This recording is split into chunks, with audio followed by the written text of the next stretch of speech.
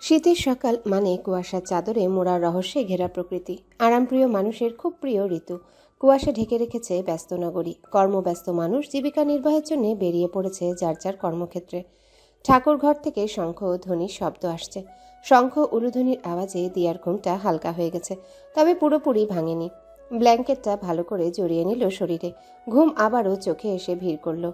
হঠাৎ কেউ টান দিয়ে শরীরের উপর থেকে ব্ল্যাঙ্কেটটা সরিয়ে ফেলল।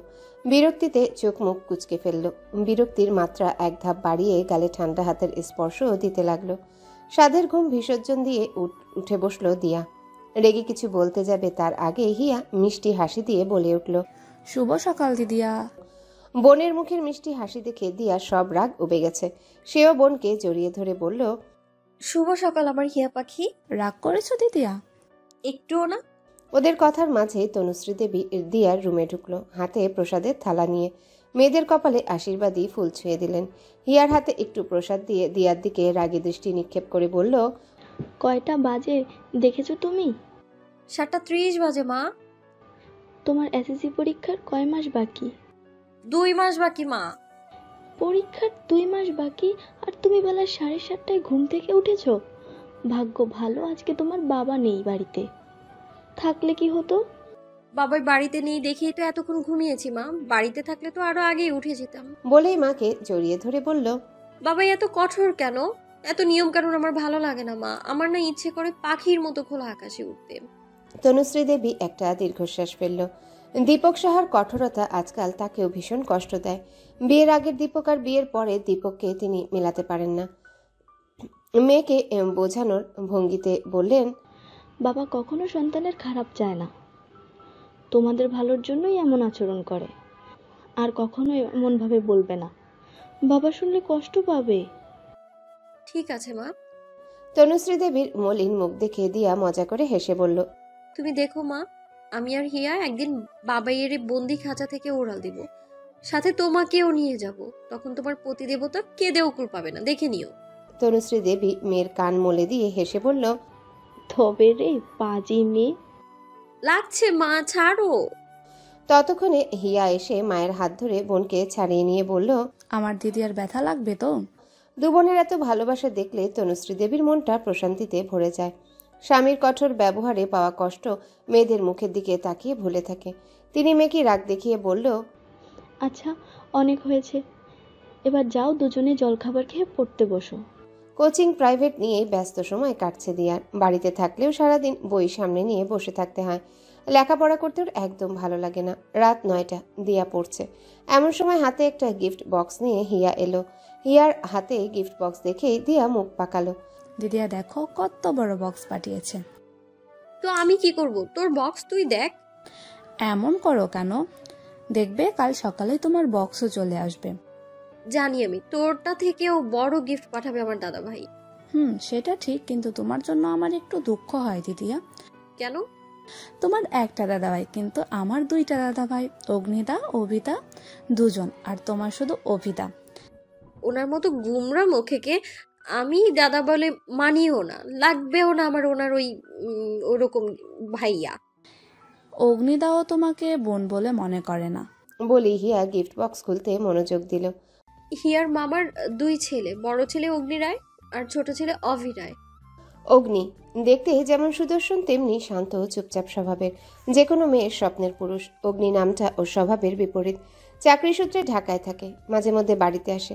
কোনো এক অজানা কারণে দিয়ার সাথে কথা বলে না, তবে হিয়াকে খুব ভালোবাসে। মাঝে মাঝে গিফটও পাঠায় হিয়ার জন্যে, আর অভি সেও দেখতে ভীষণ সুন্দর দেখতে। তবে খুবই রাগী স্বভাবের আর তীক্ষ্ণ বুদ্ধিসম্পন্ন। দিয়া হিয়াকে ভীষণ ভালোবাসে, নিজের বোন না থাকায় ওদেরকে বোনের মতোই দেখে। দিয়ার দাদুভাই দুই সন্তানের মধ্যে মেয়েকে একটু বেশি ভালোবাসতেন। তনুশ্রী দেবী ছিলেন ওনার একমাত্র মেয়ে, তাই পাশের সাহাপাড়ায় মেয়েকে বিয়ে দিয়েছেন। যদিও দীপক সাহার পাগলামি দেখে রাজি হয়েছিল ভেবেছে মেয়েকে কাছেও রাখা যাবে আর দীপকও খুব ভালো রাখবে। কিছু একটা ভেবে হিয়া বোনের উদ্দেশ্যে বলে আচ্ছা দিদিয়া অগ্নিদা ছোটবেলায় নাকি তোমাকে অনেক ভালোবাসতো। এমনকি তোমার নামও উনি রেখেছে তাহলে এখন কেন তোমার সাথে কথা বলে না? আমি কি করে বলব? এখন কখন কেমন করে? বদলোক একটা। হিয়া আফসোস করে বলল থাক মন খারাপ করো না চকলেট খাও। দিয়া বোনের হাত থেকে চকলেট নিয়ে খাওয়া শুরু করল। চকলেট তার ভীষণ প্রিয়। গিফট যার নামেই আসে, দুজনে ভাগাভাগি করে নেয়। রাতে খাবার টেবিলে বসে মেয়েদের জন্য অপেক্ষা করছে দীপক সাহা। পাঁচ মিনিট অপেক্ষা করার পর মেয়েদের আসতে না দেখে জোরে ডেকে উঠল, দীপক সাহা, দিয়া, হিয়া, আর কতক্ষণ অপেক্ষা করব আমি? বাবার ডাকে এ দু বোন এক প্রকার দৌড়ে এসে দাঁড়াল বাবার সামনে। জমের মতো ভয় পায় ওরা বাবাকে। দুই মেয়েকে দাঁড়িয়ে থাকতে দেখে তিনি আবারও বলল, খেতে বসার জন্য কি নিমন্ত্রণ দিতে হবে? দুজনায় চেয়ারটা নিয়ে বসে পড়ল। তনুশ্রী দেবী খাবার পরিবেশন করছে। করলা ভাজা দেখে দুজনে মুখ কালো করে ফেলল কিন্তু বাবার ভয়ে কিছু বলল না। দিয়া খাবার মুখে দিয়ে মুখ কুচকে ফেলল। মুখ থেকে ফেলে দিবে এমন সময় দীপক সাহা ধমকে বলল খবরদার ফেলবে না। গিলো তাড়াতাড়ি? দিয়ার চোখ ছলছল করে উঠল। পুরো মুখ তিতে হয়ে গেছে। জল দিয়ে মুখের খাবারটা গিলল। হিয়ারও একই অবস্থা। তনুশ্রী দেবী কিছু বলতে নিবে কিন্তু স্বামী চোখ রাঙিয়ে তাকানো দেখে থেমে গেল। দিয়া হিয়া করলা ভাজা দিয়ে খাওয়া শেষ করল। বলতে গেলে জল দিয়ে পেট ভরালো। সকালবেলা প্রাইভেট পড়ে বাসায় আসতে অভির সাথে দেখা হলো দিয়ার। দিয়া হাসি দিয়ে দাদাভাইকে কাছে এসে বলল দাদাভাই তুমি এখানে? চলো আমাদের বাসায় চলো। তোদের বাসা থেকে আসছি। পিসুমণির হাতে লুচি তরকারি খেয়েই এসেছি। এখন যেও না দাদাভাই কত দিন হলো তোমার সাথে কথা হয় না। চলো না আবার একটু আড্ডা দিব। বোনের এমন আবদার শুনে অভি আদুরে স্বরে বলল না রে বোনো আমার দরকারি একটা কাজ আছে। এক্ষুনি যেতে হবে। আমি তো তোর গিফট দিতে আসছি। আর এখন বাসায় তোর হিটলার বাবা আছে। গেলেও আড্ডা দিতে দেবে না। তুমি আবার বাবাইকে ভয় পাও কবে থেকে? অভি হাসলো হেসেই বলল আমি ভয় পাবো? এই ওই দীপক সাহেবকে আমি অভিরাই তোর বাপকে গোনার সময় আছে নাকি? শুধু পিসুমণির মুখের দিকে তাকিয়ে কিছু বলি না। না হলে এতদিনে বুঝিয়ে দিতাম আমি কি জিনিস। অভির কথা শুনে দিয়ার মুখ কালো করে ফেলল। তা দেখে অভি আবারও বলল কি হলো? মুখ কালো করলি কেন? এত খারাপ ব্যবহার করে তোদের সাথে তারপরে এতটা টান কিসের? যত কিছু হোক বাবাই আমাদের। অভি দিয়ার মতোই ব্যঙ্গ করে বলল যত কিছুর হোক বাবাই আমাদের যত সব। দিয়া অভির কথা শুনে ওকে কয়েক ঘা লাগিয়ে দিল যদিও দিয়ার মার অভির শরীরে লাগেনি। অভি হাসি দিয়ে বলল আচ্ছা যা এবার বাসায়। গিফট বক্স খুলে দেখ। আর আমি তোর বাপকে বলে এসেছি বিকালে তোরা আমাদের বাসায় যাবি। তাড়াতাড়ি চলে আসিস। সত্যি বলছো দাদা ভাই বাবাই রাজি হয়েছে?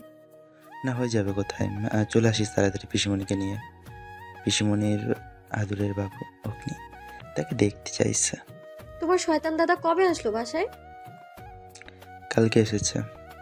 দিয়া মুখ বাঁকিয়ে বলল তাহলে আমি যাব না। কেন? তুমি দেখো না উনি আমার সাথে কেমন করে কথাও বলে না। আমাকে তো চেনেই না মনে হয়। তো কি হয়েছে? এটা তো নতুন না। অনেক বছর থেকেই এমন করছে। কেন করে এমন বলো তো? কি করেছি আমি? ওনাকে যে আমাকে একটুও দেখতে পারে না? ইয়াকে তো কত ভালোবাসে। আমি তো সেই জন্য তোকে দ্বিগুণ ভালোবেসে দিচ্ছি। এতেও খুশি না তুই? দিয়া তাড়াতাড়ি অভির এক হাত জড়িয়ে ধরে বলল প্লিজ দাদাভাই দুঃখ পেও না। আমি তো এমনি বললাম। আমার শুধু তুমি হলেই চলবে। ওনাকে তো আমিও ভাই বলে মানি না। ঠিক আছে এবার বাসায় যা। নাহলে তোর হিটলার বাপ ভুগবে। আর বিকেলে তাড়াতাড়ি চলে আসবি। আচ্ছা বলে দিয়া বাসার দিকে হাঁটা দিল। অভি দিয়ার যাওয়ার দিকে তাকিয়ে একটা দীর্ঘশ্বাস ফেলে মনে মনে বলল অপ্রকাশিত ভালোবাসা যদি তুই বুঝতেই। অভি বাসায় এসেই অগ্নির রুমে গিয়ে সোজা ওর বেডে শুয়ে পড়ল। অগ্নি তাকালো ভাইয়ের দিকে তবে মুখে কিছুই বলল না। অভি নিজে থেকেই বলল তোমার কাজ করে এসেছি দাদা ভাই আমার কি কাজ? তোমার দেয়া গিফট পৌঁছে দিয়ে এলাম। ভুল করছিস? ওটা আমার না তোর দেয়া গিফট তাই নাকি? সেই জন্য তো আজ পর্যন্ত জানলাম না ওই গিফট বক্সগুলোতে কি থাকে। তা জেনে তোর কাজ নেই। হুম সেটাই। আলমারিতে তোর গিফটটাও আছে। নিয়ে যা। ওটা গিফট নাকি ঘুষ দা ভাই? অগ্নি চোখ গরম করে তাকালো। অভি বোকার মতো হাসি দিয়ে বলল এমনভাবে তাকানোর কি আছে? ঘুষ বা গিফট একটা হলেই হলো। বলে আলমারি থেকে নিজের গিফট বক্সটা বের করল। খুলে দেখে খুব সুন্দর একটা ব্র্যান্ডের ঘড়ি। অভি খুশি হয়ে ভাইকে বলল থ্যাঙ্কস দাদাই। ঠিক আছে এবার আমার রুম থেকে বের হ। অভি রুম থেকে বের হওয়ার আগে একটু দুষ্টুমি করে মাকে উদ্দেশ্য করে বলল মা বিকেলে পিসিমণিরা আসবে।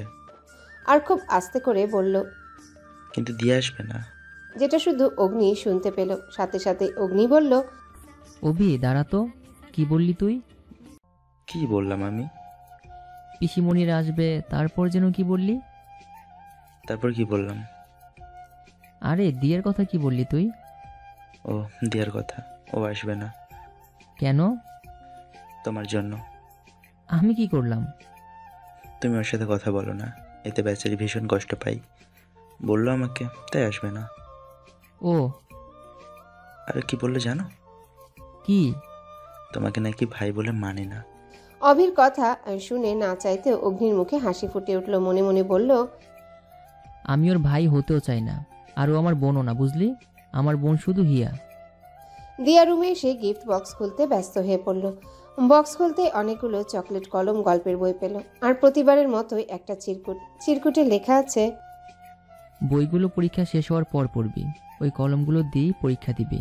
সবসময় হাসি খুশি থাকবি আমার পিচ্ছি পড়ি প্রত্যেকটা চিরকুটে পিচ্চি পড়ি বলেই সম্বোধন করা থাকে কিন্তু অভি সরাসরি কখনোই পিচ্চি পড়ি বলে ডাকে না। এই বিষয়টা ভাবনায় ফেলে দিয়াকে। জিজ্ঞাসা করবে করবে ভেবেও করা হয়নি। বাবার ডাকে দিয়া সব বিছানার উপর রেখেই ছুট লাগালো ড্রয়িং রুমের দিকে। মেয়ে দেখে দীপক সাহা বলল বিকেলে তোমার প্রাইভেট আছে না? হুম বাবাই। প্রাইভেট শেষ করে তুমি সাইকেল নিয়ে চলে যেতে পারবে না? তোমার মামার বাড়িতে পারব বাবাই। দীপক সাহা স্ত্রীর উদ্দেশ্যে বলল তোমরা আগে চলে যেও দিয়া প্রাইভেট শেষ করে যাবে। আর আমি রাতে গিয়ে নিয়ে আসব। আবার বাবার বাড়িতে থাকার বায়না করো না। স্বামীর কথায় তনুশ্রী দেবী কষ্ট পেল। বাবার বাড়ি কাছে হওয়ার সত্ত্বেও তিনি খুব বেশি যেতে পারে না। আজকে অভি না বলে গেলে কখনোই যেতে দিত না। পাশের রুম থেকে হাসি আর কথার আওয়াজে ঘুম ভাঙলো অগ্নির।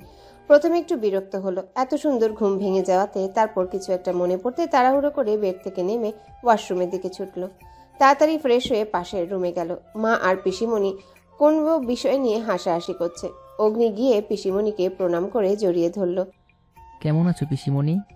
ভালো আছি বাবু। তুই কেমন আছিস? আমিও ভালো আছি পিসিমণি। এত শুকিয়ে গেছিস কেন বাবু? অগ্নি হেসে বলল আমি মোটেও শুকাইনি হাগের মধ্যে তো আছি। তনুশ্রী দেবী আদুরে হাত বুলিয়ে দিতে লাগল অগ্নির মুখে। অগ্নি আর অভি পিঠাপিঠি হওয়াতে ছোটবেলায় অগ্নি তার পিসিমণির কাছেই বেশি থাকতো। উনি এক বছরে অগ্নিকে কোলেপিঠি করে মানুষ করেছে। অভি অগ্নি দুজনকে অনেক বেশি ভালোবাসেন। অগ্নির যখন নয় বছরের ছিল তখন তনুশ্রী দেবীর বিয়ে হয়। অগ্নির চোখ যে অন্য কাউকে খুঁজছে তাই সে বলল পিসিমণি হিয়া কোথায়? ড্রয়িং রুমে টিভি দেখছে। তোর পিসা তো ওদের টিভি দেখতে দেয় না। তাই এসেই টিভির সামনে বসে পড়েছে। আচ্ছা তুমি গল্প করো আমি যাচ্ছি ওর কাছে। ড্রয়িং রুমে যেতে অগ্নির হাসি মুখ কালো হয়ে গেল। ও ভেবেছে দিয়াও হয়তো টিভি দেখছে কিন্তু হিয়া একা বসেই টিভি দেখছে আর হাসছে। অগ্নিকে দেখে হিয়া দৌড়ে এসে জড়িয়ে ধরে বলল দাদাই কেমন আছো? অগ্নি মুখে হাসি রেখে বলল হুম ভালো আছি তো। তুই কেমন আছিস? আমিও ভালো আছি। কি দেখছিস টিভিতে? কার্টুন। তুই কার্টুন দেখে শেষ কর পরে কথা বলব। আচ্ছা দাদাই। ছাদের রেলিং ধরে দাঁড়িয়ে আছে অগ্নি। ভিতরে তুমুল ঝড়টা বাইরে থেকে কারও পক্ষে বোঝা সম্ভব না। ওর পিচ্ছি পরিটা এতটা অভিমানী কবে হলো সত্যি এলো না। তাকে একবার চোখের দেখার জন্যই তো ঢাকা থেকে ছুটে আসে অগ্নি। তাকে কখনো বুঝবে পিচ্চিটা? বুঝবে কীভাবে অগ্নি তো ওর সাথে কথাই বলে না। আজকে অনেক বছর খুব বেশি অভিমান করেছে পিচ্চিটা। নিজের মনেই এসব ভাবছে অগ্নি। হঠাৎ পকেট থেকে ফোন বের করে অভিকে কল দিল। দুবার রিং হতে অভি ফোন তুলল। হ্যাঁ দাদাই বলো। তোর বোন কই? অগ্নি এমন প্রশ্নে অভি বোকা বনে গেল। একটু সময় লাগল বুঝতে। দিয়ার কথা বলছো? হুম। আসেনি। না। পিসমণি এসেছে? হুম হিয়ার পিসিমণি আসছে। তাদের জিজ্ঞাসা করো দিয়া কোথায়? কেন আসেনি? আমি পারব না ভাই তুই এক্ষুনি বাসায় আয়। জিজ্ঞেস যখন করতেই পারবে না তখন না আসলে তোমার কি? ভালো হয়েছে আসেনি। প্লিজ অভি বাসায় আয় তুই আর জিজ্ঞাসা করো কোথায় আর না হলে তুই গিয়ে নিয়ে আয়। কীভাবে নিয়ে আসব? কোথায় আছে সেটা কীভাবে জানব? বাসায় আছে নাকি প্রাইভেটে গেছে তাও তো জানি না। একটা ফোনও নেই সাথে যে কল করে জানাব কোথায় আছে। আচ্ছা তুই আগে বাসায় আয়। আচ্ছা ফোন রাখো আসছি। অগ্নি ফোন রেখে আকাশের দিকে তাকিয়ে রইল। হঠাৎ নিচের দিকে তাকাতেই দেখল সাইকেল চালিয়ে দিয়ে আসছে। হাসি ফুটলো অগ্নির মুখে। অগ্নি অপলক দৃষ্টিতে তাকিয়ে আছে। দিয়া সাইকেল থেকে নেমে ব্যাগ থেকে জল বের করে খেয়ে নিলে খুব ক্লান্ত দেখাচ্ছে মেয়েটাকে। আগের থেকে অনেক শুকিয়ে গেছে মেয়েটা। হয়তো পরীক্ষার জন্য অনেক বেশি চাপ যাচ্ছে। দিয়া সাইকেল নিয়ে গেট পার করে ভেতরে ঢুকে পড়েছে। এখন আর দেখা যাচ্ছে না। অগ্নি বড় একটা দীর্ঘশ্বাস ফেলল। নিজে নিজেই বলল তোকে সামনে দেখো কথা না বলার যন্ত্রণা যদি আমি কাউকে দেখাতে পারতাম, আমার যে ভেতরটা জ্বলে পুড়ে শেষ হয়ে যায়, এই অসহ্য ব্যথা যে আর বই বেড়াতে পারি না আমি। অগ্নি অনেকক্ষণ ছাদে কাটিয়ে নিচে নেমে এলো। আবার চলবে মন মস্তিষ্কের যুদ্ধ। দিয়া হিয়া কার্টুন দেখছে আর হাসতে হাসতে একজন আরেকজনের গায়ের উপর পড়ছে। অগ্নি গিয়ে হিয়ার পাশে বসল। ভাবটা এমন যেন হিয়াকে দেখেইনি। অগ্নিকে দেখে দিয়ার হাসি বন্ধ হয়ে গেছে। আর চোখে একবার অগ্নিকে দেখে নিল আর মনে মনে বলল আমি কেন এই সুন্দর শয়তানটাকে ডাউনলোড করছে? আর অন্য কেউ যদি এই শয়তানটাকে ডাউনলোড করতো তাহলে কি বেশি সমস্যা হতো? এটাকে মামাতো ভাই ভাবতেই কেমন লাগে? ধুর কিসের ভাই? মানি না এটাকে ভাই বলে। এসব ভেবেই দিয়ে আবারও তাকালো অগ্নির দিকে। হেসে হেসে কথা বলছে হেয়ার সাথে। তা দেখে আবারও মনে মনে বলল আমি তোর কোন পাকা ধানে মই দিয়েছি যে আমার সাথে কথা বলিস না? আর হিয়ার সাথে তো হেসে হেসে কথা বলিস, শয়তান বদ্দের হাড্ডি। দিয়া রাগে উঠে চলে গেল ভেতরের দিকে। সেই দিকে তাকিয়ে একটা দীর্ঘশ্বাস গোপন করল অগ্নি। রায়বাড়িতে রাতের ভোজের বিশাল আয়োজন করা হয়েছে। বাড়ির একমাত্র জামাই এসেছে। দীপক বেশ খাতির, যত্ন পায় শ্বশুর বাড়িতে রাতের খাবার না খাইয়ে যেতে দিল না আদিত্য রায়। একমাত্র ভগ্নিপতি আদর যত্নে কোনো কমতি রাখেন না তিনি। একসাথে সবাই খেতে বসল। অভির পাশে দিয়া আর অগ্নির পাশে বসেছে হিয়া। আদিত্য রায় আর দীপক টুকটাক কথা বলছে হঠাৎ করে আদিত্য বড় ভাগিনীর উদ্দেশ্যে বলল পরীক্ষার প্রিপারেশন কেমন দিয়া? এ পেলা চাই কিন্তু। প্রিপারেশন ভালো মামা। আশীর্বাদ করবেন। দিয়া মনে মনে বলল এ প্লাস তো গাছের কলা। তোমাদের চাই আর আমি পেরে এনে দিব। এ প্লাস এ প্লাসের চক্করে আমি দিন দিন শুকিয়ে যে কাঠ হয়ে যাচ্ছি সেটা তো কেউ দেখছে না। দিয়া আর খেতে পারছে না। খাবারের প্লেটে জল দিয়ে দিবে এমন সময় অভি ওর হাত ধরে ফেলল আর বলল কি করছিস তুই? দিয়া কাচুমাচু করে বলল আমার খাওয়া শেষ দাদা ভাই। খেলি তুই যে তোর খাওয়া শেষ? সবগুলো তরকারি দিয়ে খাওয়া শেষ করবি? এত তরকারি দিয়ে খাওয়া সম্ভব না দাদা ভাই। রাতে বেশি খেলে আমার হাঁসফাঁস লাগে। আচ্ছা সব খেতে হবে না। আর তবে শরীরের জন্য যতটুকু প্রয়োজন ততটুকু তো খেতে হবে। আর হাঁসফাঁস লাগবে না। আর খাওয়া শেষ আশ্রম পাড়া থেকে হেঁটে আসব। খাওয়া শেষে তো আমরা চলে যাব দাদা ভাই। কেউ কোথাও যাবে না। অভির কথা শুনে দীপক সাহা স্ত্রীর দিকে তাকালো। স্বামীর চাহনি দেখে তনুশ্রী দেবী তাড়াতাড়ি বলে উঠল শোন না বাবা আমরা আজকে চলে যাব। সকালে তোর পিসাকে কাজে যেতে হবে আর এখন বাড়িতে গিয়ে কিছু কাজ করবে। আমরা না গেলে সমস্যা হয়ে যাবে বাবা। ঠিক আছে তাহলে তুমি আর পিসা চলে যাও। দিয়া হিয়া রাতের বেলা কোথাও যাবে না। তনুশ্রী দেবী আবার কিছু বলতে গেলে অভি থামিয়ে দিয়ে বলল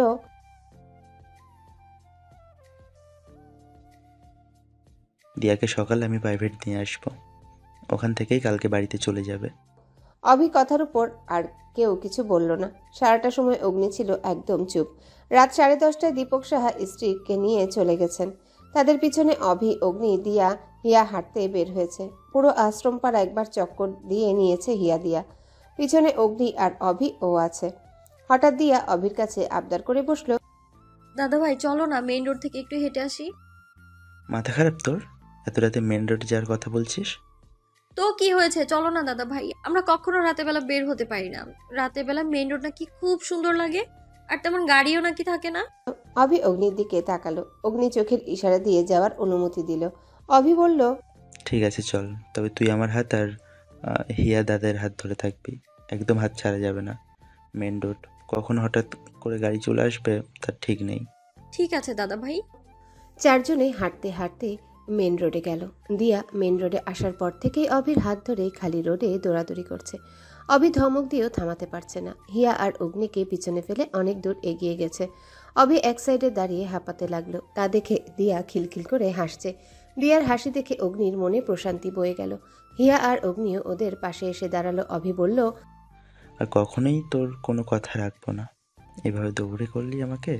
বললেই হলো নাকি? তোমাকেই আমার সব কথা রাখতে হবে। হঠাৎ করে হিয়া বলল দাদাই আইসক্রিম খাব। এই শীতের মধ্যে আইসক্রিম খাবে? তাছাড়া এত রাতে আইসক্রিম কোথায় পাবো? দোকান তো যা দেখছি সবই বন্ধ। চারপাশে চোখ ঘোরাতে লাগল। অনেকটা দূরে একটা দোকান খোলা আছে মনে হচ্ছে। দিয়া হাত দিয়ে অভিকে দেখিয়ে দিল। অভি বলল দাদাই তুমি এখানে থাকো আমি দেখে আসছি। আমিও যাব তোমার সাথে। একদম না পুরো রাস্তায় দৌড়াতে পারব না আমি। তো এখানে চুপ করে দাঁড়া দিয়া মুখ কালো করে ফেলল। অভি কিছু একটা ভেবে বলল হিয়া তুই চল আমার সাথে। হিয়া খুশি হয়ে অগ্নির হাত ছেড়ে অভির হাত ধরে বলল চলো চলো। অভি দিয়াকে উদ্দেশ্য করে বলল কথা না শোনার শাস্তি এটা। দাদাই সাথে এখানেই চুপ করে দাঁড়িয়ে থাকবি। এটা বলেই অগ্নিকে চোখে ইশারা দিয়ে হিয়ার হাত ধরে হাঁটা দিল। দিয়া মুখ ফুলিয়ে ওদের যাওয়ার দিকে তাকিয়ে রইল। দিয়া রাস্তার দিকে তাকিয়ে ভাবছে। অভি আসার আগে কয়েক রাউন্ড দৌড় দিয়ে নিবে। খালি রাস্তায় দৌড়াতে ওর খুব ভালো লাগে, আর এই বদলোক তো কিছুই বলবে না। দিয়ার ভাবনার মাঝে অগ্নি ওর চিকন হাতটা নিজের শক্তপোক্ত হাতের মুঠোয় নিয়ে নিল। দিয়া তো অবাক হয়ে তাকিয়ে রইল অগ্নির দিকে। অগ্নি স্বাভাবিকভাবে দাঁড়িয়ে রইল। অগ্নির ভিতরে কি হচ্ছে সেটা কেউই আন্দাজ করতে পারবে না। দিয়া যে ওর দিকে তাকিয়ে আছে সেটা অগ্নি না তাকিয়েও বুঝতে পারছে। দিয়া নিজের অবাকতা কাটিয়ে হাত ছাড়ানোর চেষ্টা করতে লাগল কিন্তু পারছে না। অগ্নি হালকা হাসলো দিয়া শরীরে সর্বশক্তি প্রয়োগ করছে তাও পারছে না। এবার অগ্নি চোখ গরম করে তাকালো দৃষ্টি শিথিল হলো দিয়ার মুখ দেখে। কিন্তু বরাবরের মতোই মুখে কিছু বলল না। দিয়া রাগ দেখিয়ে বলল হাত ছাড়ুন আমার। অগ্নি ছাড়লো না হাত কিছু বলল না। দিয়া আবারও বলল বয়রা নাকি কানে শোনেন না? এবার দিয়া তাকালো অগ্নির দিকে। সরাসরি অগ্নির চোখে চোখ রাখল শান্ত হয়ে গেল দিয়া। দুজনায় একে অপরের দিকে তাকিয়ে রইল। অগ্নির নিজের চোখে তৃষ্ণা মিটাচ্ছে। ষোড়শী দিয়া কি সেটা বুঝতে পারছে? দিয়া নিজে চোখ সরালো না। অগ্নির চোখের ভাষা পড়ার চেষ্টা করছে। এভাবে কতটা সময় কাটলো সেদিকে কারোরই খেয়াল নেই। অভির ডাকে দুজনেই দৃষ্টি সরালো কিন্তু অগ্নি দিয়ার হাত ছাড়লো না। অভি বলল একদম ঠিক করেছিস দাদাই। হাত না ধরে রাখলে এ শয়তান যে এতক্ষণ কয়েক রাউন্ড দৌড় লাগাতো। দাদা ভাই তুমি আমার শয়তান বলতে পারলে? ও সরি শয়তান না কিউট শয়তান হবে। দিয়া মেকি রাগ করে মুখ বাঁকালো অভি হেসে বলল চকলেট ফ্লেভার আইসক্রিমটা কি হিয়াকে দিয়ে দেবো? দিয়ার সাথে সাথে চিল্লিয়ে না বলে আইসক্রিমটা কেড়ে নিয়ে নিল। দিয়ার কাণ্ডে হিয়া আর অভি শব্দ করে হাসলো অগ্নি মুখ টিপে হাসলো। আইসক্রিম হাতে পেয়েও দিয়া খেতে পারছে না কারণ অগ্নি এখন ওর হাত ধরে রেখেছে। বিরক্ত হয়ে দিয়া বলল হাত ছাড়ুন আমার। অগ্নি হাতের বাঁধন আরেকটু শক্ত করল দিয়া এবার রেগে গিয়ে চিল্লিয়ে বলল কি সমস্যা আপনার? এরকম কেন করছেন আপনি? ছাড়ুন বলছি নয়তো খা দিয়াকে আর বলতে না দিয়ে অগ্নি অভির উদ্দেশ্যে বলল অভি আইসক্রিম খুলে দে। অনেক রাত হয়েছে। এবার বাসে যেতে হবে তো। অগ্নির কথা মতোই অভি আইসক্রিমটা খুলে আবারও দিয়ার হাতে ধরিয়ে দিল। দিয়ার আগে কিছু বলতে যাবে তার আগেই অভি হিয়ার হাত ধরে আগে আগেই হাঁটা দিল। দিয়া পেছন থেকে জোরে বলল দাদা ভাই আমাকে তোমার সাথে নিয়ে যাও না। এই শয়তান জল্লাদ বদ লোকটার কাছে কেন রেখে যাচ্ছ? দিয়ার কথা শুনে পেছনে না ফিরে অভি বলল রেখে যাচ্ছে না। আমাদের পিছন পিছন চলে আয়। হিয়াও বলল দাদাই মোটেও বদলোক না দিদিয়া। আমরা আসার সময় অনেক গল্প করেছি। তোমরাও গল্প করতে করতে চলে আসো। এই লোক তোর দাদাই আমার না। যে লোক আমার সাথে কথা বলে না সে আবার উম, করবে গল্প? অগ্নিও দিয়াকে নিয়ে হাঁটা দিল। দিয়া বিড়বিড় করে বকেই যাচ্ছে। অগ্নি সব শুনেও নিশ্চুপ হয়ে হাঁটছে। হঠাৎ দিয়া দাঁড়িয়ে পড়ল। অগ্নি ভ্রুকুচকে তাকালো দিয়া বলল জল্লাদ লোক হাতে ব্যথা পাচ্ছি আমি। দিয়ার কথা শুনে অগ্নি হাত বাঁধন শিথিল করল তবে ছাড়লো না। দিয়াও আর কিছুই বলল না। দিয়া উপরে উপরে রাগ দেখাল ও মন থেকে খুব খুশি। ও মন থেকে চাইছে অগ্নি যেন একবার ওর সাথে কথা বলে। অন্যদিকে অগ্নি তো সময়টা উপভোগ করছে। শীতের রাতে প্রেয়সীর হাত ধরে হাঁটা এর চেয়ে রোমাঞ্চকর কিছুই হতে পারে না। মেন রোড পার হয়ে চলে এসেছে ওরা। আর দুটো গলি পার হলেই বাসা। কিন্তু অগ্নি এখনও একটা কথাও বলেনি। এদিকে কিশোরী মনের অস্থিরতা বাড়ছে। দিয়ার হাতের কোন আইসক্রিমটা এখনও শেষ হয়নি। ও তো খাচ্ছে কম ভাবছে। কীভাবে অগ্নিকে দিয়ে কথা বলানো যায়? হঠাৎ দিয়ার মাথায় দুষ্টু বুদ্ধি এলো। ও ভালো করে এক পলক অগ্নিকে দেখে নিল। অফ হোয়াইট টি শার্ট তার উপরে কালো জ্যাকেট, জিপারটা খুলে রেখেছে। এই বদের হাড্ডির দিকে তাকালে দিয়া ক্রাশ নামক বাসটা খায়। দিয়া ইচ্ছে করে ঠোঁটে মুখে কিছুটা আইসক্রিম লাগিয়ে নিল। তারপর আবারও দাঁড়িয়ে পড়ল। অগ্নি দুপা এগিয়ে বুঝতে পারল দিয়া দাঁড়িয়ে আছে। তাই পেছনে ফিরতেই দিয়া ঝড়ের গতিতে ওর টি শার্টে নিজের মুখটা মুছে নিল। কয়েক সেকেন্ডের মধ্যে কি হয়ে গেল অগ্নি বুঝতে পারল না। হতবাক হয়ে একবার নিজের টি শার্টের দিকে আরেকবার দিয়ার দিকে তাকাচ্ছে। দিয়ার মুখে দুষ্টু হাসি মনে মনে বলল, এবার তো আর চুপ থাকতে পারব না। বকা দেওয়ার জন্য হলেও তো মুখ খুলবে। শয়তানের হাড্ডি। একবার খালি মুখটা খোল, তারপর দেখ, এত বছর কথা না বলে শাস্তি দেবো তোকে। দিয়ার দুষ্টু বুদ্ধিতে এক বালতি জল ঢেলে দিল অগ্নি। বকা তো দূরের কথা, মুখ থেকে একটা শব্দ বের করল না। উল্টো পকেট থেকে একটা রুমাল বের করে সুন্দর করে দিয়ার মুখটা মুছে দিল। দিয়া বিস্ময়ে হা হয়ে গেল। বকানা দিয়ে মুখ মুছে দিচ্ছে। দিয়া বিস্ময় কাটিয়ে যখন বুঝতে পারল, তার প্ল্যান কোনো কাজে আসেনি, তখন ভ্যা ভ্যা করে কান্না শুরু করে দিল। হঠাৎ দিয়া কেমন কান্না করতে দেখে অগ্নি হকচকিয়ে গেল। দিয়ার কান্নার আওয়াজে অভি আর হিয়া দৌড়ে ওদের কাছে এলো। কি হয়েছে দিদিয়া তুমি কাঁদছো কেন? কি হয়েছে দাদাই ও কাঁদছে কেন? অগ্নিভাইকে মাথা নাড়িয়ে বুঝালো সে জানে না। অভি হাত ধরে টেনে নিজের ওর সামনে দাঁড় করিয়ে জিজ্ঞাসা করল। কি হয়েছে বনু? বল আমাকে। দিয়া নাক টেনে টেনে বলল এই শয়তান লোকটা বকা দিয়েছে আমায়।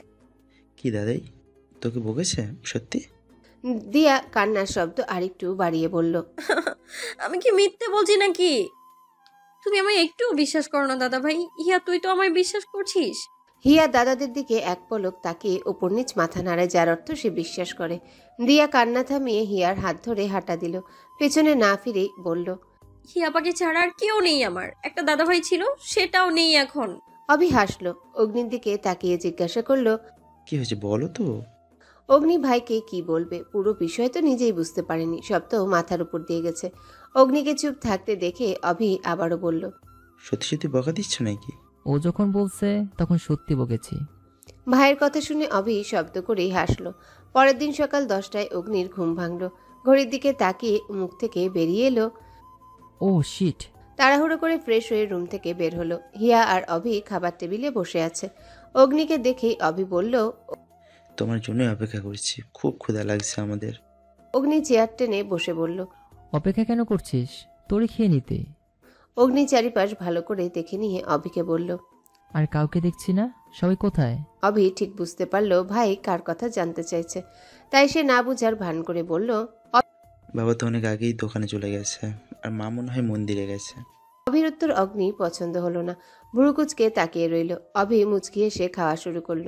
খাওয়ার মাঝে হিয়া বলল অভিদা তুমি আমাকে একটু বাসায় দিয়ে আসবে? অভি কিছু বলার আগে অগ্নি বলল আজকে তোরা থেকে যা। না দাদাই চলে যাব এখন। দিদিয়া মনে হয় প্রাইভেট থেকে এতক্ষণে বাসায় চলে গেছেন। বাবাই পরে বকবে আমাকে। অগ্নি একটা হতাশার শ্বাস ফেলল। সারা রাত পিচ্চিটাকে নিয়ে ভাবতে ভাবতে ভোরের দিকে চোখটা লেগেছে। তাই তো সকালে উঠতে পারেনি আর পিচ্চিটা আহ, কেউ দেখেনি। অগ্নিকে এভাবে খাবার সামনে নিয়ে বসে থাকতে দেখে অভি বলল চিন্তা বাদ দিয়ে খাবারটা খাও। অগ্নি খাবার মুখে দিয়ে বুঝলো এটা ওর মায়ের হাতের রান্না না তবে ভীষণ মজা হয়েছে। অগ্নি কিছু বলার আগে অভি বলল কি রে দাদাই খাবার কেমন হয়েছে? হুম ভালো। দিয়াটা ভালো রান্না করতে পারে। পিসিমণির হাতে স্বাদ পাওয়া যায়। হিয়াকে উদ্দেশ্য করে অভি বলল অগ্নি তো অবাক তার পিচ্ছিটা এত ভালো রান্না করতে পারে। আমিও পারি রান্না করতে। পিসিরা আসলে আমাদের দুই বোনকে দিয়ে রান্না করায় তাই দিদিয়ার মতো আমিও পারি। তোর পিসিদের কথা আর বলিস না। এক একটা ডাইনি দেখলেই রাগ লাগে।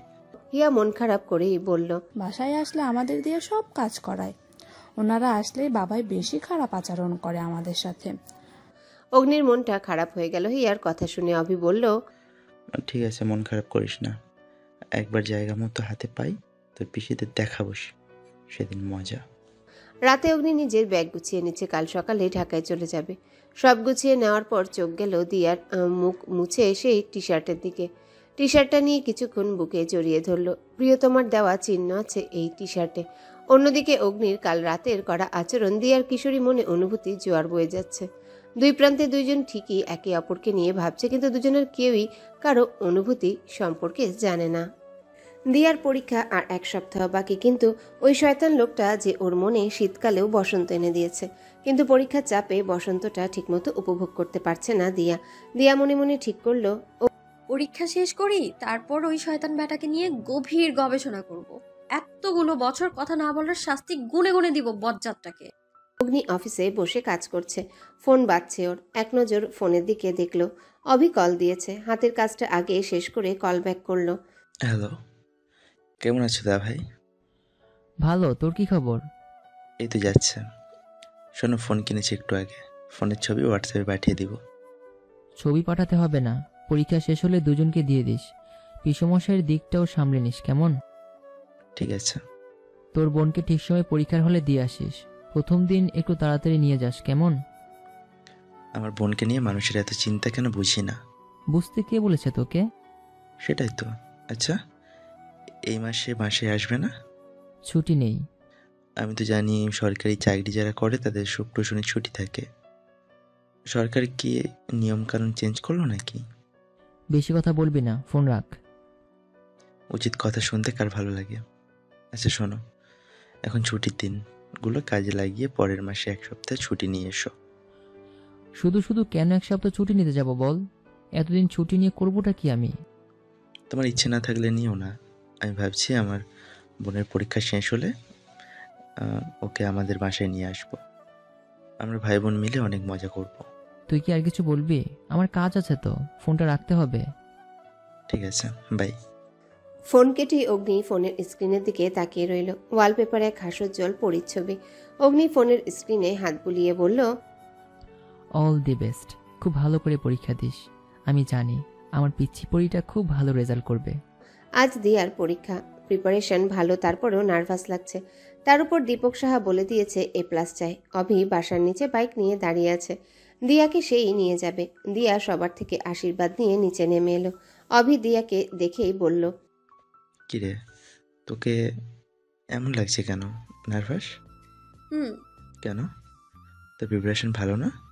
প্রিপারেশন ভালো তবে সবাই যেভাবে এ প্লাস এ প্লাস করছে দিয়ার অভি সব কথাই শুনছে অগ্নি। তাকে কলে রেখে অভি দিয়ার সাথে কথা বলছে। কল কেটে দিয়ে অভিকে এস এম এস করল। দাদায়ের এস এম এস দেখে অভি কানে হেডফোন গুজে কল দিল অগ্নির নাম্বারে। কল ধরতেই ফোন পকেটে রেখে বাইক স্টার্ট দিল। আমাকে শক্ত করে ধরে বস। আমি কিছু কথা বলেছি সেটা মনোযোগ দিয়ে শোন। হুম বলো। প্রথমে এ প্লাস চিন্তা মাথা থেকে বের কর। শুধু এটা মাথায় রাখ তুই তোর সেরাটা দিবি। ক্লাস তুই এক দশ এক থেকে দশ পর্যন্ত তুই কতটা জ্ঞান অর্জন করেছিস কতটা শিখেছিস এটা শুধু তারই একটা পরীক্ষা। কঠিন কিছু না আমি জানি তুই পারবি। তুই শুধু তোর বেস্টটা দিবি। সব টেনশন বাদ দিয়ে ঠান্ডা মাথায় পরীক্ষাটা দে। আমি জানি। আমার পিচ্ছি পড়ি খুব ভালো রেজাল্ট করবে। অভি কথাগুলো শুনে দিয়ার নার্ভাসনেস কেটে গেছে। থ্যাঙ্কস দাদা ভাই দিয়ার পরীক্ষা শেষ হওয়ার আর দশ মিনিট বাকি। এই তিন ঘণ্টার অগ্নি অভিকে পাগল বানিয়ে দিয়েছে। অভি কেন্দ্রের বাইরে অপেক্ষা করছে। আবারও অগ্নির কল এলে অভি একবার ভাবলো ধরবে না। কিন্তু কল না ধরলে ভাই যে পাগল হয়ে পাবনা হাসপাতালে বাসিন্দা হয়ে যাবে। তাই কল ধরে বলল এটা তোমার তেত্রিশতম কল। সিরিয়াসলি দাদা তিন ঘন্টায় তেত্রিশটা কল? এটা তুমি? কীভাবে সম্ভব? বাজে নাবকে বল ওর পরীক্ষা কেমন হচ্ছে? আজও প্রশ্ন করবে না একদম। ও এখনও বের হয়নি। আমি বাইরে থেকে কীভাবে বলব ওর পরীক্ষা কেমন হচ্ছে?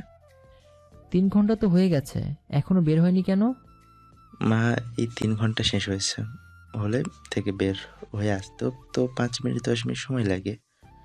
ও তো পড়ি না যে ডানা মেলে উড়ে উড়ে চলে আসবে। অগ্নি মনে মনে বলল পড়ি। ও আমার পিচ্ছি পড়ি দিয়াকে ওর দিকে আসতে দেখেই অভি কান থেকে ফোন নামিয়ে রাখল কিন্তু কাটলো না। মনে তো দেরি করলে কেন? আর একটু দেরি করলে আমি তো পাগল হয়ে যেতাম। কই দেরি করলাম? কাগজ নেওয়ার সাথে সাথেই তো বেরিয়ে এলাম। আর পাগল হয়ে যেতে কেন? অভি থতমত খেয়ে বলল কেন? আর গরমে যা গরম পড়েছে? এতক্ষণ এখানে দাঁড়িয়ে থাকতে গেলে কেন? বাসায় চলে যেতে পারতে। এখানে দাঁড়িয়ে থাকার পরও তো উনি শান্তি পাচ্ছে না। আর বাসায় থাকলে তো আমার ঘর দান যেত। দিয়া অভির কথা মাথা মুন্ডু কিছুই বুঝতে পারছে না। কি বলছো তুমি দাদা ভাই কিছুই বুঝতে পারছি না আমি। ওদের কথা শুনে অগ্নির ইচ্ছে করছে অভিকে কয়েক ঘা লাগাতে। অগ্নি বিড়বিড় করে বলল গাধাটা আসল কথা জিজ্ঞাসা না করে পুরো দুনিয়ার কাহিনী শুরু করছে। ইচ্ছা করছে কয়েক ঘা লাগিয়ে হাতের সুখ করে নি তোকে বুঝতে হবে না। এবার বল পরীক্ষা কেমন হয়েছে? ভালো হয়েছে দাদা ভাই অগ্নি একটা স্বস্তির নিঃশ্বাস ফেলল। দেখতে দেখতে আজ দিয়ার পরীক্ষার শেষ দিন। সবগুলো পরীক্ষায় খুব ভালো হয়েছে। দিয়া পরীক্ষার শেষ হওয়ার পর থেকে অগ্নিকে নিয়ে গবেষণায় লেগে গেছে। অগ্নির কথা ভাবতে ভাবতেই হল থেকে বের হলো। দিয়া মনে মনে ভাবছে এই বদের হাড্ডিটা একবার তো উম, খবর নিল না। পরীক্ষা কেমন হচ্ছে? মাকে ফোন দিয়ে তো একটা খবর নিতে পারতো। হিয়ার পরীক্ষার সময় তো প্রায়ই মার কাছে কল দিয়ে খবর নিত। আমার বেলায় একটা খবরও নিল না। এসব ভাবতেই দিয়ার মন খারাপ হয়ে গেল। ছোটবেলার কিছু স্মৃতি এখনও দিয়ার মনে আছে। ছয়টা বছর অগ্নি ছাড়া দিয়ার কোনো খেলার সাথে ছিল না। অগ্নি ছিল ষোলো বছর আর দিয়া ছয় বছর। তখনকার দিনগুলো কত সুন্দর ছিল। হঠাৎ করে অগ্নি ওর সাথে কথা বলা বন্ধ করে দেয়। সেদিনের কথা দিয়ার এখনও মনে আছে। অগ্নির সাথে খেলার জন্য কত কান্না করেছে। কিন্তু অগ্নি মুখ ফিরিয়ে চলে গেছে। এসবে মনে করে দিয়া বিড়বিড় করে বলল নিষ্ঠুর আপনি খারাপ আপনি কীভাবে আমাকে এত কষ্ট দিলেন? কীভাবে শৈশবের সব স্মৃতি ভুলে গেলেন? কই আমি তো কিছুই ভুলি নাই। আপনি আমার শৈশবের খেলার সাথে। আর এই কিশোরী বয়সের প্রথম ভালো। কথা পুরো শেষ করল না দিয়া বাকি কথাটুকু গিলে নিল। দিয়া মুখের এই অবস্থা দেখে অভি জিজ্ঞাসা করল কিরে পরীক্ষা ভালো হয়নি? হুম ভালোই হয়েছে। তাহলে মুখটা আমার বাংলা পাঁচ বানিয়ে রেখেছিস কেন? একটু নিষ্ঠুর মানুষের নিষ্ঠুরতা মনে পড়ছে তাই। কে আমার এত কিউট বোনটার সাথে নিষ্ঠুর আচরণ করেছে? তার নামটা একবার বল। দিয়া অকপটে বলে দিল কে আর তোমার শয়তান ভাই? দিয়ার কথা শুনে অভি চোখ বড় বড় করে একবার হাতের ফোন আরেকবার আহ, দিয়ার দিকে তাকাচ্ছে। অভি নিজে সামলে বলল দাদাই এবার কি করছে? আমার পরীক্ষার শুরু থেকে শেষ পর্যন্ত একটা দিনও খবর নিয়েছে সে। বিয়ার সময় তো ঠিকই মাকে কল দিয়ে খবর নিত। আমার বেলায় সব নিষ্ঠুরতা তার। প্রায় দশ বছর আমার সাথে কথা বলে না। কি এমন দোষ করেছি আমি যে আমার সাথে কথা বলে না? আমি তো আর বলতে পারল না দিয়া। কথাগুলো গলায় আটকে গেছে। এতক্ষণ চোখ ছলছল করলে এখন কয়েক ফোঁটা জল গড়িয়ে পড়ল। অভি হতবাক হয়ে গেলে দিয়া যে কথা বলতে বলতে কেঁদে দিবে ও সেটা ভাবতেই পারে না। নিজেকে একটু ধাতস্থ করে দিয়ার মাথায় হাত বুলিয়ে বলল দিয়া অভির আহ্লাদি কথা শুনে নাক টেনে বলল নিজের হাতের ফোনের দিকে তাকিয়ে মনে মনে বলল আরে পাগলি কান্না করছিস কেন? এবার দাদাই আসলে আমি খুব করে বকে দিব। দাদাই খুব বড় অন্যায় করেছে। পিসিমণিকে কল দিয়ে একটা খবর দিতে পারতো। অগ্নির ভিতরটা আজকে ভীষণ জ্বলছে কিন্তু সবসময়ের মতো অন্যায় তো সে ছোটবেলা থেকেই করছে আমার সাথে। মাকে না হোক তোমাকে তো একটা কল দিয়ে জিজ্ঞেস করতেই পারতো বলো দাদা ভাই কিন্তু তাও করেনি। সেটাই। আমাকে তো অন্তত একটা কল দেওয়া উচিত ছিল। তুই একটা কল আশা করেছিস আর এই পর্যন্ত হাজারটা কল দিয়েছে। চাইলেও সত্যটা তোকে বলতে পারব না। অগ্নির ভিতরটা আজকে ভীষণ জ্বলছে, কিন্তু সবসময়ের মতো ওপরটা শান্ত। ভেতরের যন্ত্রণাটা আরও কয়েকশো গুণ বেড়ে গেছে প্রিয়তমার কান্না ভেজা মুখশ্রী দেখে। কিছুক্ষণ আগে অভি ছবিটা সেন্ড করেছে। কি নিদারুণ কষ্ট বয়ে বেড়াচ্ছে। অগ্নি সেটা কাউকে বুঝতে দিবে না। বুকটা অসহ্য যন্ত্রণা করছে। অগ্নি বুকের বা পাশটা হাতে চেপে ধরে বিড়বিড় করে বলল অনেক বড় অন্যায় করেছি আমি। ছোটবেলা থেকে তোকে ভালোবেসে অনেক বড় অন্যায় করেছি। সম্পর্কের মারপ্যাচ না বুঝি আমি তোকে ভালোবেসেছি। তোকে ভালোবাসা তো আমার হাতে ছিল না রে। এখন যে ভুলে যাব সে ক্ষমতা আমার নেই। তোকে ভালোবেসে শুধু অন্যায় নয় পাপ করেছি আমি পাপ। সরি আমার পরিটা। দিয়া মন খারাপ করে বসে আছে। সবকিছু বিরক্ত লাগছে। অভিয়কে অনেক বুঝিয়েছে, কিন্তু তবুও মনটা শান্ত করতে পারছে না। অগ্নি কি কখনো অনুভূতি সম্পর্কে আজ করতে পারবে? অগ্নি কি জানতে পারবে ষোড়শী হৃদয়ে কি উত্থাল ঝড় চলছে ওকে ঘিরে? আজ সাত দিন হলো দিয়া মামা বাড়িতে এসেছে। পরীক্ষা শেষ হওয়ার পরদিনই অভিকে নিয়ে এসেছে। দীপক বাবুও কোনো অমত করেনি। হিয়া দিয়ার ভাই হিসেবে অভিকে তার কাছে বেশ লাগে। উনি মনে করেন অভি আছে বলেই মেয়ে দুটোকে ছেলেপেলেরা উত্তক্ত করার সাহস পায় না। অভি বাড়িতে নিয়ে আসার পর দিয়ার হাতে ফোন দিয়েছে। তবে ফোন হাতে পেয়েও দিয়া বিশেষ আগ্রহ প্রকাশ করেনি। দিয়ার মাথায় তো ঘুরছে অন্য কিছু। দিয়া আসার পর থেকে অগ্নি রুমে কয়েকবার গুপ্ত অভিযান চালিয়েছে, কিন্তু ফলাফল শূন্য। দিয়া নিজেও জানে না ও কি খুঁজতে আসে এই রুমে। বর্তমানে দিয়া অগ্নির রুমে ওর বেডে বসে আছে। হাতে অগ্নির একটা শার্ট। কিছু একটা ভেবে শার্টটা নাকের কাছে এনে ঘ্রাণ নিচ্ছে। এই ঘ্রাণটা সে রাতেও পেয়েছিল। আহ, সে রাতের কথা মনে পড়লেই কেমন সুখ সুখ লাগে ওর। সে অপলোক দৃষ্টি কথা না বলেও প্রবল অধিকারে শক্ত করে হাত ধরে রাখা। কি যত্নে মুখ মুছে দিয়েছে দিয়া নিজে নিজেই বলল আপনার দৃষ্টিতে আমি অন্য কিছু দেখছি কিন্তু আপনার ব্যবহার? কিছু তো আছে যা আমি জানি না।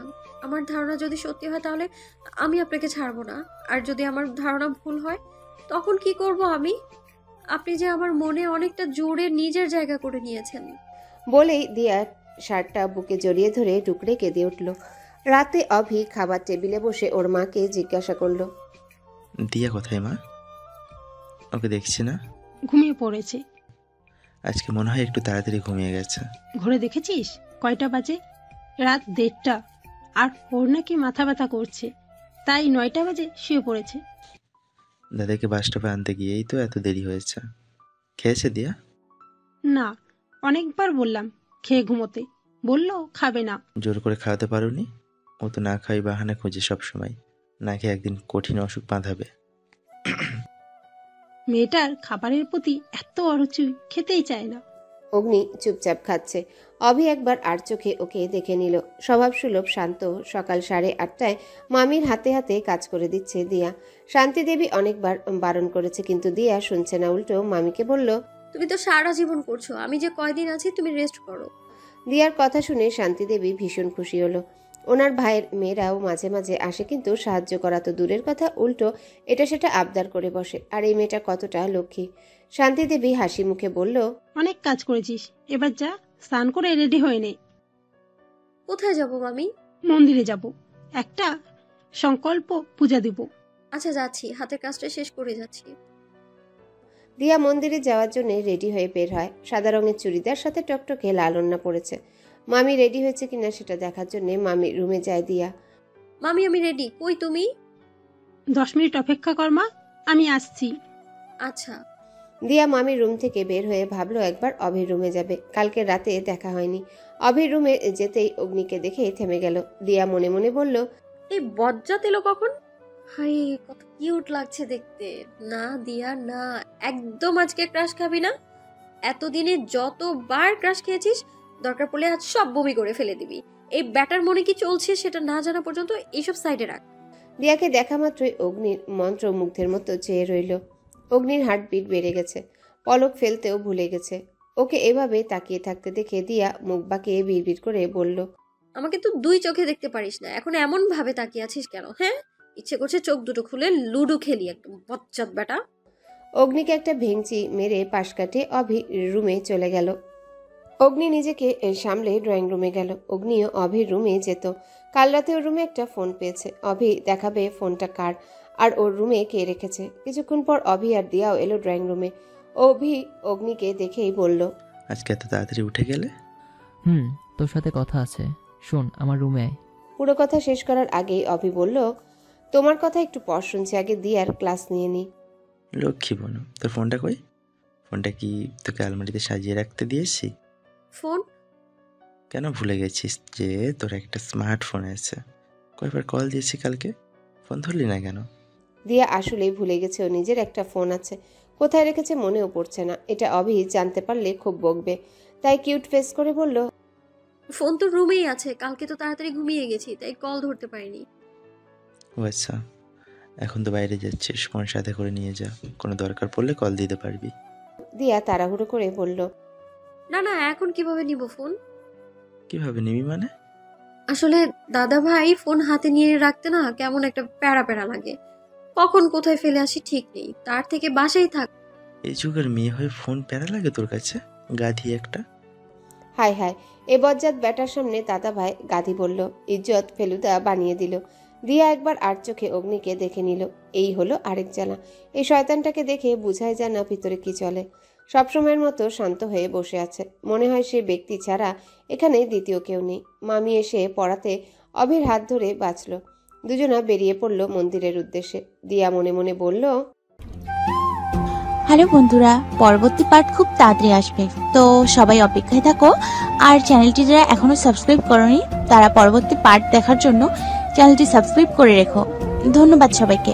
আমাদের সাথেই থেকো।